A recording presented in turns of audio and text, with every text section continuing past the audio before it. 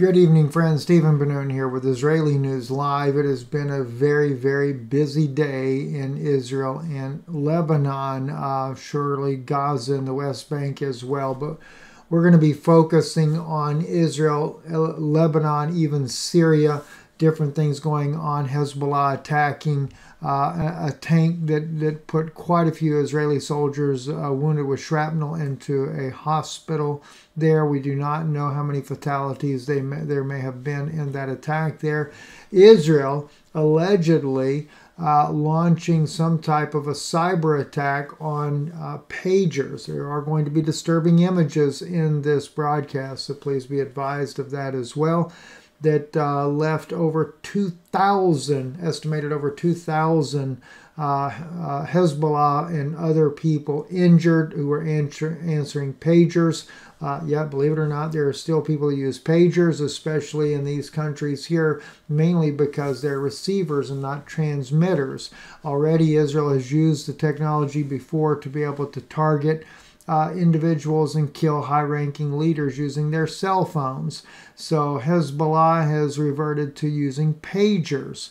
Um, and of course, Trump, uh, the attempted assassination on a golf course, uh, the man being in captivity. So today is September the 17th, 2024 want to just remind you we've loaded a couple of videos over on Patreon here recently. You may want to check those out, and I'll be doing another one. I was planning on doing it this afternoon, but some very interesting things transpired today uh, as I, uh, me and my wife met with a dear friend Anna and her sister-in-law and uh, I want to share some things about generational curses. That'll be going over on Patreon as well.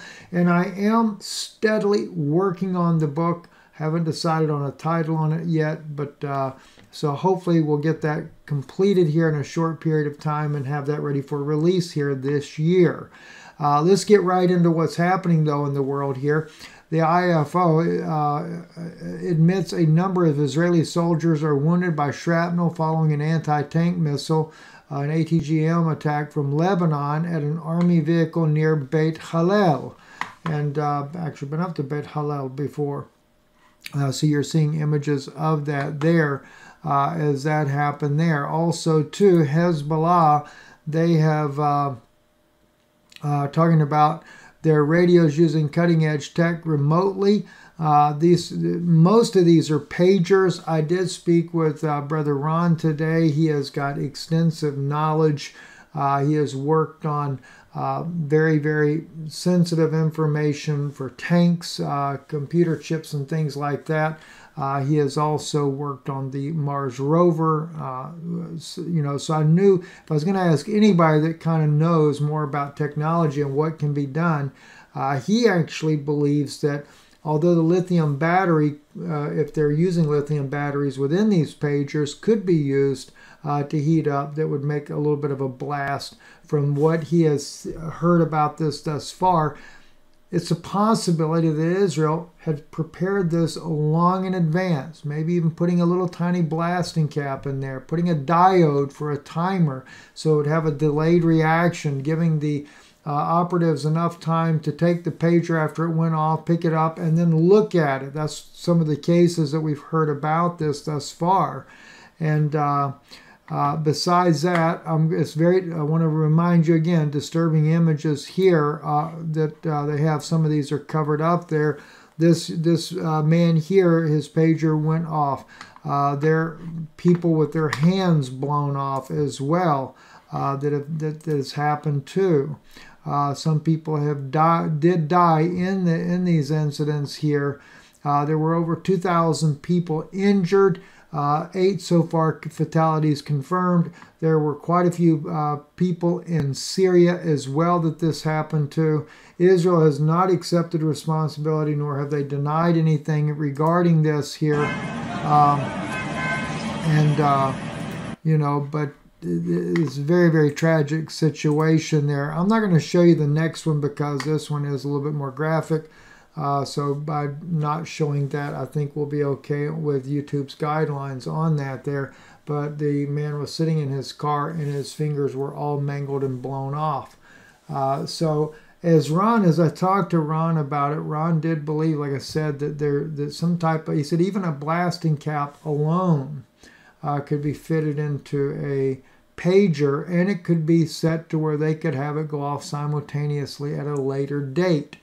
Uh, some are suggesting that Israel's advanced technology of hacking has allowed these things to turn into detonating uh, pagers, but Ron didn't actually buy that. He believes that, you know, maybe a third party country somewhere, uh, Israel may have been involved making sure they got built a certain way. Maybe Israel owned a factory somewhere, perhaps China or Taiwan or something like that. And then those devices were sold.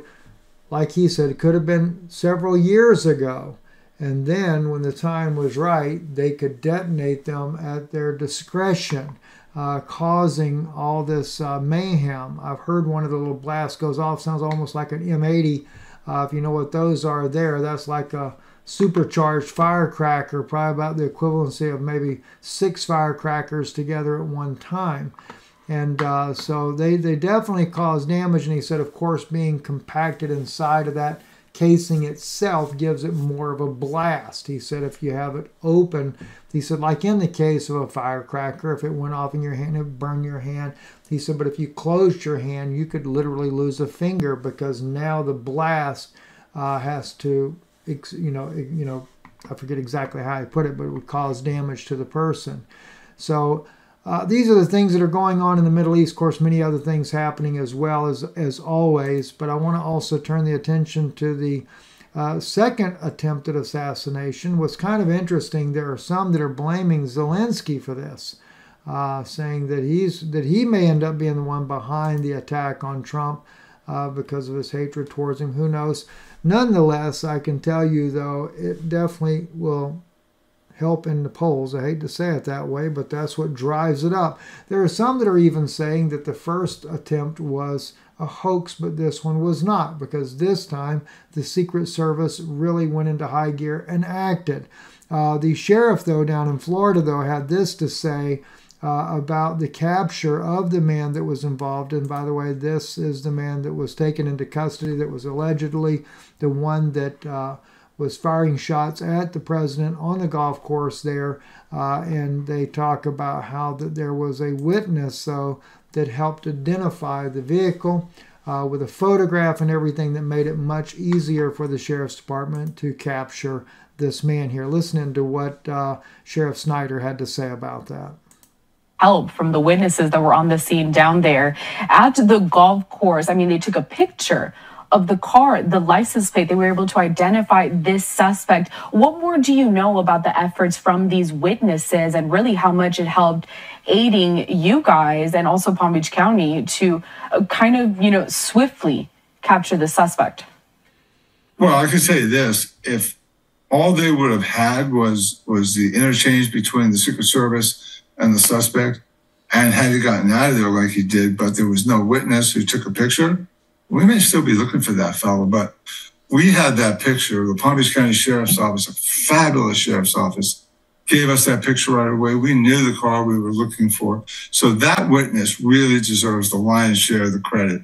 Had that witness done, done the right thing, used his head, snapped that picture, then came out to the interstate and identified the suspect, we, we would have a whole different scenario tonight here on the screen some body cam footage of when that suspect was caught. Sheriff Snyder, let's talk about the investigation going forward. I know that. that anyway, this uh, the latest for us right now. Uh, I'm hoping to be able to do this next video here. Uh, we'll probably not be doing it tonight. Uh, we'll see. We'll see. It's getting kind of late right now, though, but I do want to do that. And that video, though, by the way, is going to be dealing um, with.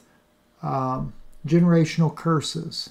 Uh, that will be over on patreon.com, uh, and uh, I think you'll find that very fascinating. Uh, I actually had to send a text back to Sister Anna and ask them about what I had said because it's one of those things when you fall under an anointing and you're speaking to someone, uh, you just forget and her and Sister Becky, her sister in law, what a precious couple they were. Me and my wife met with them uh, today, and uh, so it was really uh, kind of a, a, very enjoyable afternoon to get to talk to them about, and, and we talked so much about the Lord. They were so well versed themselves as well. And uh, so it was very, very insightful discussion. And uh, then we got into this thing about generational curses there. And uh, they sent me those some things that I had said back. And so that uh, it, so just to help me to remember that line of thought that I went into. So uh, I'll be very excited to share that with you guys as well. So, again, patreon.com forward slash Israeli News Live. Go to the description below there, you'll see it. Don't forget, subscribe to the channel if you're new. Give a thumbs up if you appreciate the work we do here. And of course, Patreon is the best way to support our broadcast. So, uh, we thank you, and of course, uh, you can always go to IsraeliNewsLive.org. We have a lot more information there now than what we've had before. My wife is going to be writing more articles, still yet to come. Um, latest one is the open letter to the five docs there. Uh, we we were planning on doing these uh, a follow up video on that the other day. Uh, there's been a little bit of delay on that, uh, but it is coming. It is coming. More information uh, we want to share with you, and I hope that you've got to see the video that we just did too over on our YouTube channel there, uh, where it was out of Zionism and into the true Christian faith. Uh, we talked about the journey. I, I, thought we was really going to be going into more of the Noahide laws because my wife had quite a bit prepared on that, and it just kind of took a natural turn. So we actually renamed the video. Let me take you to the channel here so you can see that there. Uh, but very interesting from Zionism to Christianity. Uh, only 5,000 views thus far, but believe me, it's well worth watching. So, anyway, God bless you. Thank you for listening, and we will talk soon.